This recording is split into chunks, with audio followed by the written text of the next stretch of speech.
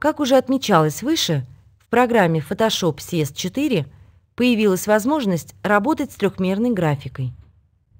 При этом для начала использования 3D-возможностей необходимо создавать отдельные 3D-слои, с которыми и будет вестись работа.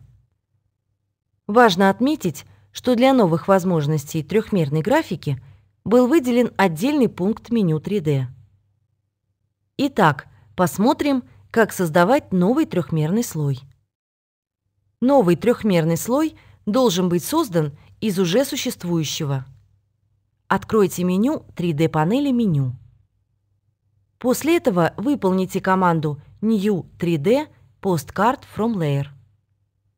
В зависимости от сложности объекта на слой с течением определенного времени будет создан трехмерный слой, что отобразится значком в палитре слоев.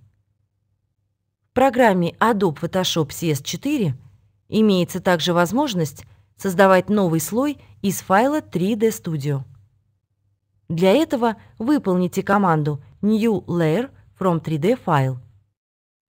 В появившемся диалоге просто укажите путь к файлу 3ds.